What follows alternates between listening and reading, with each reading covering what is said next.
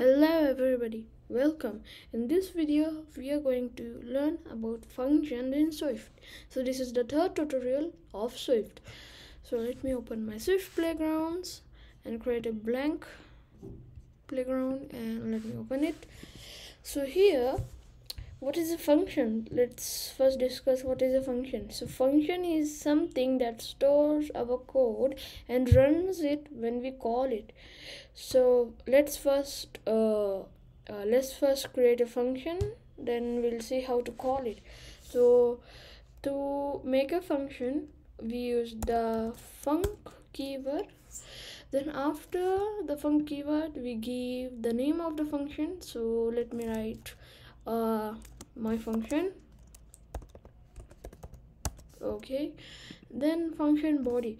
So after you give it uh, the name of the function then you need to uh, open and close these rounded brackets then open and close this curly bracket. So here you write some code.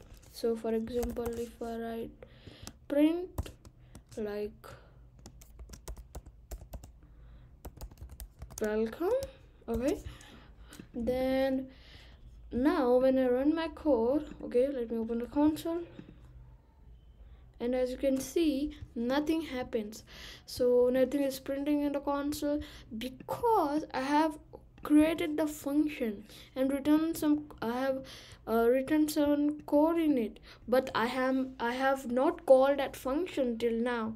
So how to call that function? It's very easy so you write your function name then open and close these rounded brackets.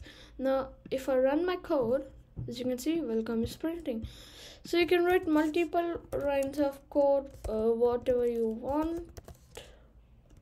Uh, like welcome welcome swift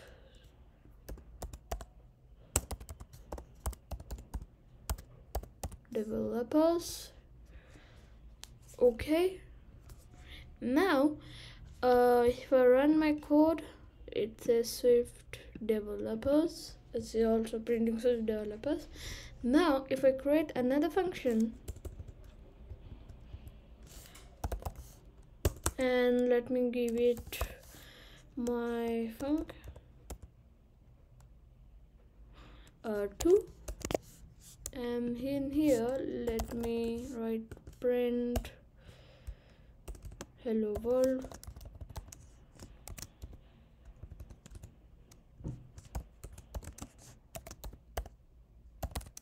Now if I run the code nothing happens okay so it's printing Swift well Swift developers and welcome because we have called this function not this function so let me call that function too and can see it's first printing hello world then printing welcome swift developers because first i have called uh, my fun function too uh, so that's why it's first printing hello world.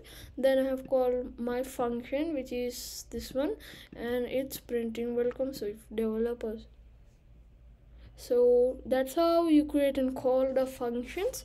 Now we can even store some values here so that we'll discuss in the next video. So in this video we uh, learned how to create a function and call it. So whatever you want to write you can even put here some variables. You, you can even write here some code whatever you want and then call that function. Then the output will be in front of you. Thank you and thanks for watching. So bye